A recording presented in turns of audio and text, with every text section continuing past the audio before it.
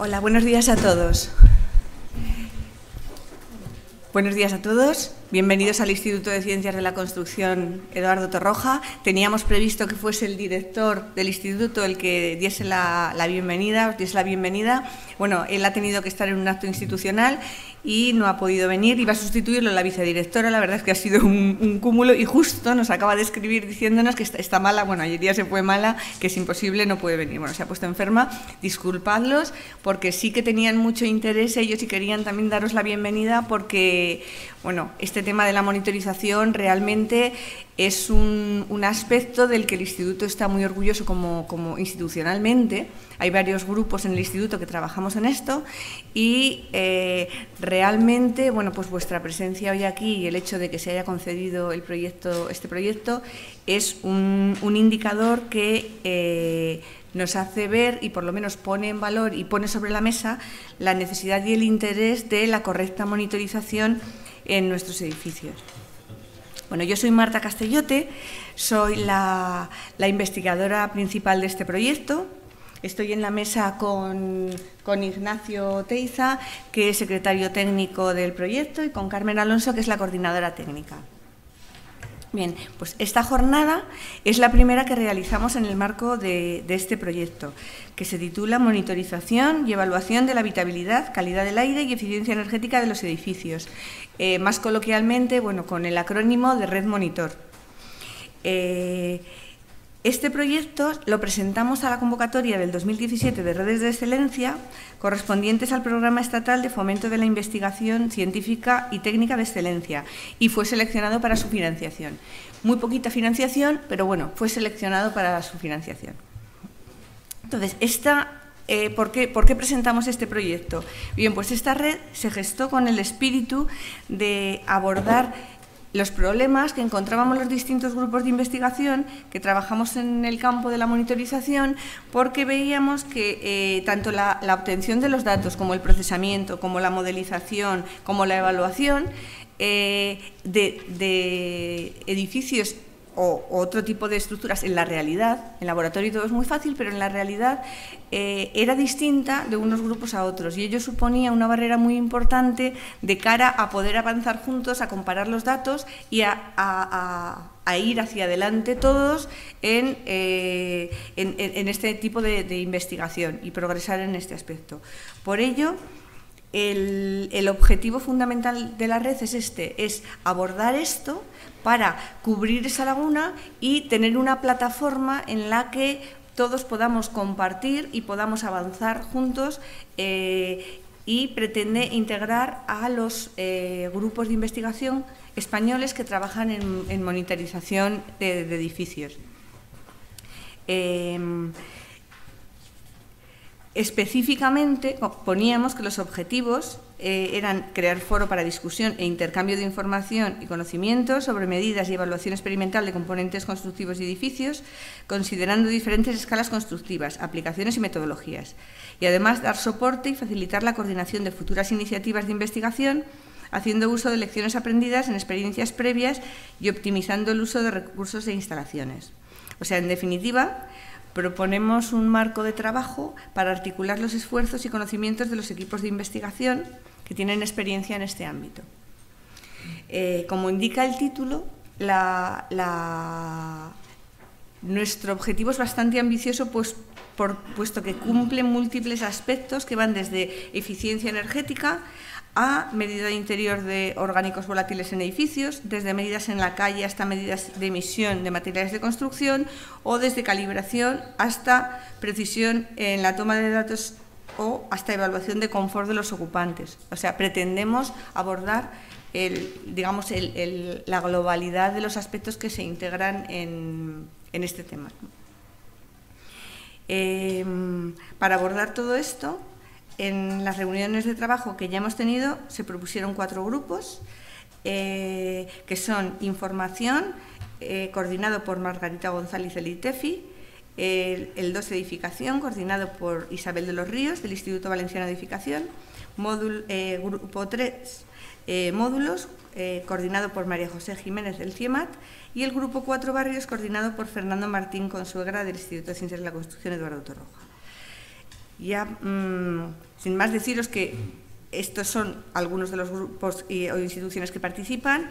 Eh, como he dicho, esta eh, red, este proyecto, está liderado por el Instituto y participan 12 grupos de investigación de ocho organismos públicos diferentes. El, el CSIC, eh, em, participando el, Instituto Torroja y el ITEFI, la Universidad Politécnica de Madrid, la Universidad de Sevilla, la Universidad de Castilla-La Mancha, el CIEMAT, Instituto Valenciano de la Edificación Universidad, y Universidad de Lleida. Y adicionalmente, y es algo que, consideramos muy importante, otros ocho grupos de investigación se integran en la red como invitados. Y eh, para finalizar, lo que quería es resaltar el carácter abierto e inclusivo de esta red, que eh, oficialmente, digamos, es, la que es porque eh, bueno, pues es un proyecto del Ministerio, como decía, y pero pretende aglutinar el conocimiento de todos los grupos de investigación. Por lo tanto, es una red abierta, inclusiva y aquellos que trabajéis en monitorización, aquellos grupos de investigación que trabajéis en monitorización, sois bienvenidos a integraros como, invitados. Bueno, sin más, paso la palabra a Ignacio Teiza. Muy bien. voy a poner aquí.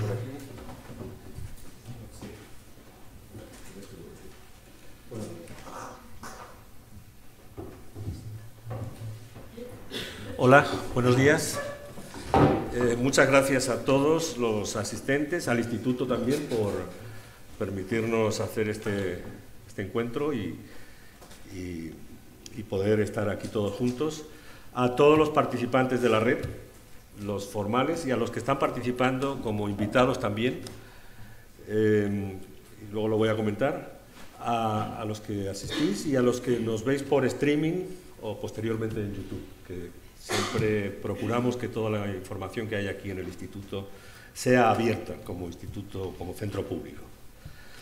Em, el proyecto em, Monitor Red o Red Monitor, em, monitorización y evaluación de la habitabilidad, calidad del aire y eficiencia energética de los edificios, mm, lo ha comentado ya Marta, como investigadora principal, está financiado por el Ministerio. Hay que volver a decir que con poca, pocos fondos, pero estamos haciendo todo lo posible porque poder dar más, y ya lo contaremos. Eh, el origen de, este, de esta red pues surge de una jornada que también se llamó monitorización y ensayos a escala real de un proyecto que teníamos con un tema de rehabilitación, que era el, proyecto Refabib. Desde el momento que hicimos esa jornada, que fue en el año 2016, en junio, hasta ahora que hacemos esta primera reunión, pues ya han pasado casi tres años, cosas que cuesta mover todos estos temas, pero creemos que es un tema muy actual, importante. Em, en este proyecto, eh, en un principio, y la red solo permite 10 grupos, que los ha comentado ya Marta, pero que yo voy a insistir, unos son del, Consejo Superior de Investigaciones, el grupo IXMA, que coordina Marta, el grupo mm, eh, CHE, Sistemas Constructivos y Habitabilidad en la Edificación, que coordino yo, y el grupo del ITEFI, Karma, del CSIC. Eh, esos tres grupos mm, son del Consejo. Luego están eh, un grupo del CIEMAT, ¿eh? unidad de I+D sobre eficiencia energética y edificación, CIEMAT Almería, el Instituto Valenciano, el IBE, la Universidad Castilla-La Mancha, a través de un grupo que está en Cuenca, que es grupos de modelización, análisis energético y estructural en edificación y obra civil, y otro grupo también de Cuenca, visión por computador 3D, robótica. luego de la Universidad de Lleida, de la Escuela Politécnica Superior, el grupo SEM, que también están presentes, gracias a todos por venir, de la Universidad de Sevilla, eh, el grupo em, se llama Grupo Arquitectura, Patrimonio, Sostenibilidad, Acústica, Iluminación Óptica y Energía, TEP 130, de la Politécnica de Madrid, el grupo em, Arquitectura Bioclimática en un entorno sostenible, ABIO, también de la Politécnica de Madrid, de, Arquitectura, el grupo TISE, Técnicas Innovadoras Sostenibles en la Edificación, y de la Universidad Politécnica de Madrid, el grupo Seminario de Construcción y Ecología. Bien, aparte de estos 10 grupos, que era lo máximo que nos permitía eh, la convocatoria, mm, nosotros eh, desde el principio eh, manifestaron algunos su interés en participar, lamentablemente no podían, por eso he puesto este, este plano. siento que se nos ha pasado a poner Cuenca, perdón Paco, yo sé que Cuenca existe,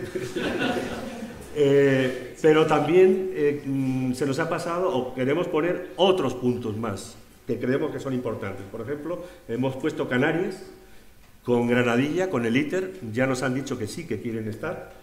Eh, la Universidad de Zaragoza también nos ha dicho que quiere estar, lo pondremos, y queremos y, pedimos a todos que eh, aquellos grupos que conozcáis que quieran participar, es una red inclusiva.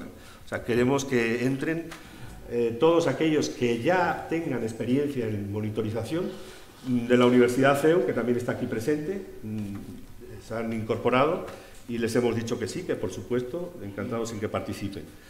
Em, por lo tanto, ya somos 18 mm, grupos los que, los que estamos participando. Podéis ver la exposición de los diferentes trabajos, ponencias, publicaciones. Están puestos en el pasillo al lado del hall para que veáis un poco lo que hace cada grupo.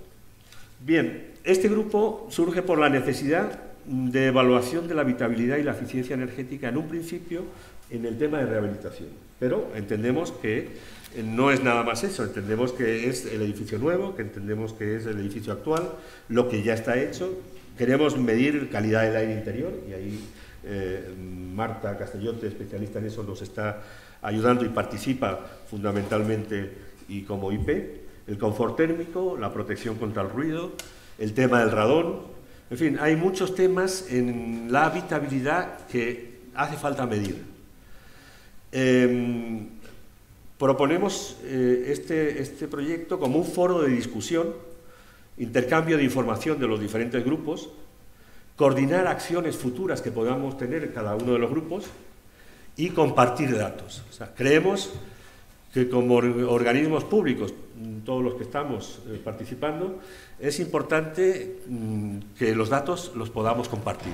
No sé de qué manera, no se trata, el otro día fui a una charla justamente, bueno, era de idealista y justamente el negocio de ellos es vender datos. O sea, yo creo que, que no se trata en sí de un negocio, sino de compartir datos, de qué manera podemos nosotros, que estamos monitorizando, y todos los que estáis en el grupo, pues intercambiar esos datos y lo que os haga falta o lo que necesitemos podamos ver. Pero para eso tenemos que ponernos de acuerdo en qué datos vamos a tomar, cómo vamos a monitorizar, dónde vamos a medir, qué valores, qué unidades van a tener esos, datos, en fin, qué equipos mm, mm, se deben utilizar, cuáles son los más idóneos, etcétera, etcétera.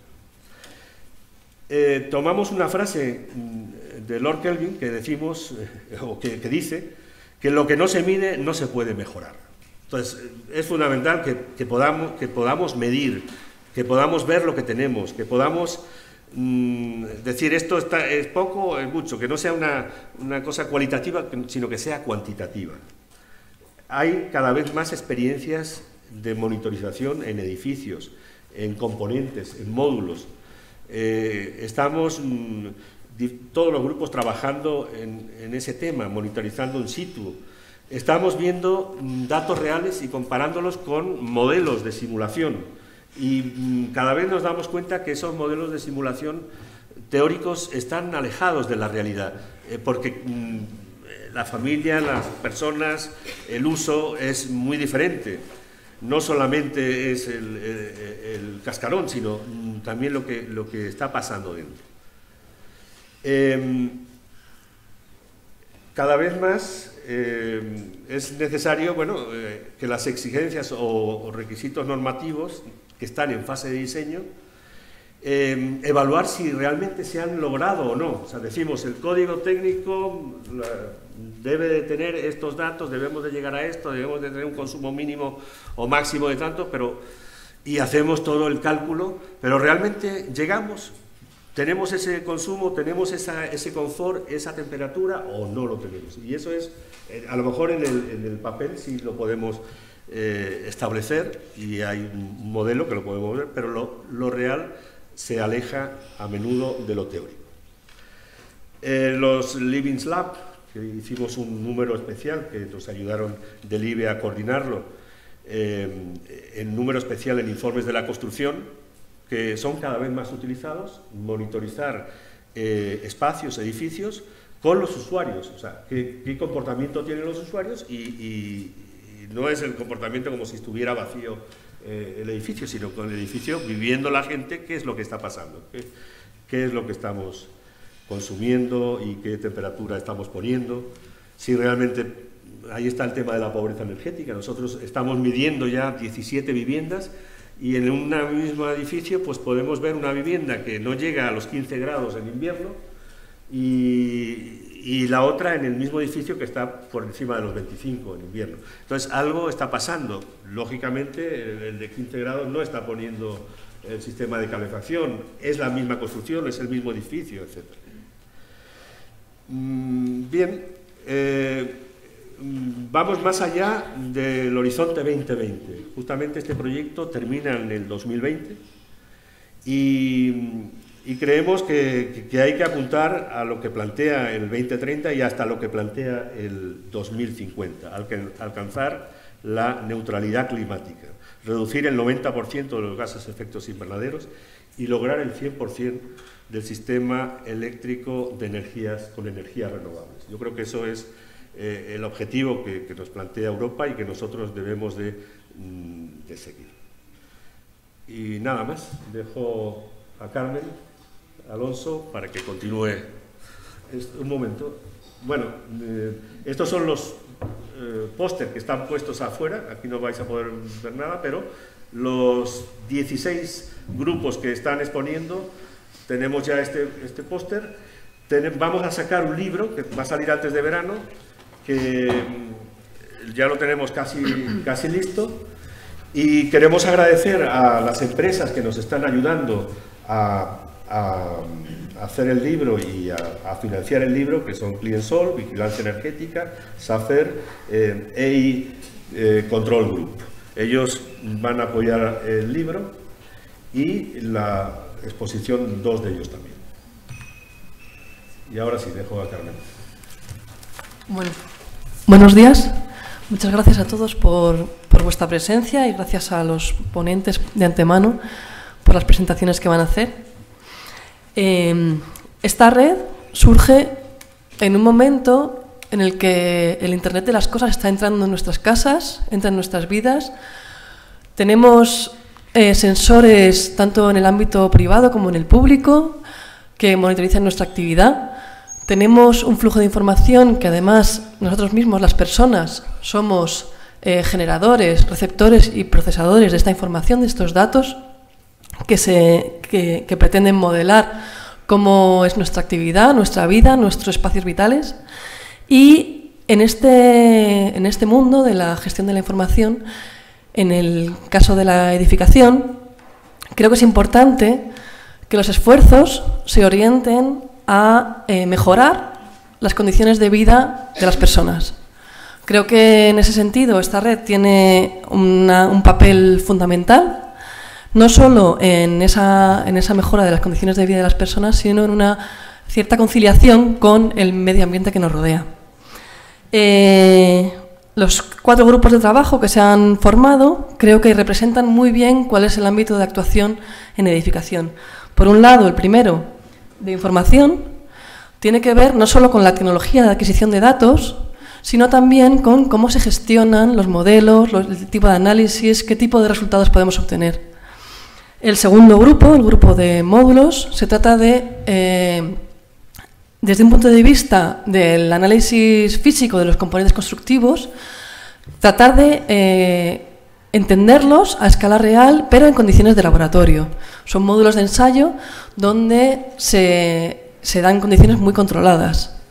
En el siguiente grupo, el grupo de edificios, se trata de ampliar la escala y meternos en el parque de edificios construidos. Esto implica, como ha dicho Ignacio, conocer a los usuarios, conocer sus actividades, conocer sus perfiles de uso e incluso involucrarlos en la gestión de la información de la edificación.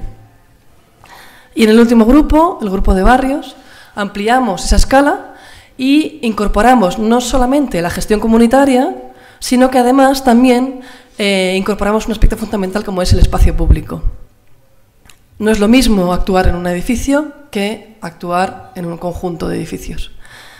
En todos estos grupos van a ser presentados en la primera parte de la jornada, eh, ahora mismo y hasta las 12. Cada uno de los responsables de, cada grupo presentará las actividades que se han desarrollado en los últimos años y luego, en la segunda parte de la mañana, tenemos una mesa redonda que moderará eh, Borja Frutos y que, con la que pretendemos dar una idea de cuáles son los retos a los que se enfrenta eh, cada uno de estos grupos en los próximos años, a un corto y largo plazo. Entonces, eh, sin más, bienvenidos y espero que esta jornada sirva de inspiración para todos los que trabajáis en, en estos temas. Vale, gracias.